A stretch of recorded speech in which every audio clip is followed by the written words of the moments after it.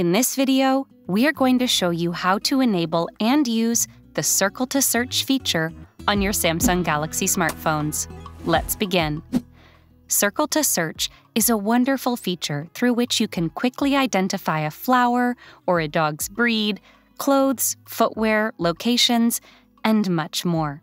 Here's how to use it on your Samsung Galaxy device. Open Settings on your Samsung Galaxy smartphone. Navigate to Display, and then tap on Navigation Bar. Now scroll down and enable the toggle next to Circle to Search. After that, Circle to Search is ready to use.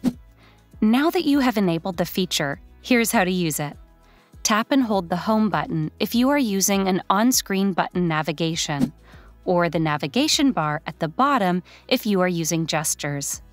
Draw a circle around the object on your screen that you want to do a Google search for, using your finger or S Pen. When you lift your finger from the phone's screen, it will search the internet and bring up the results. It is a very handy tool for quick searches.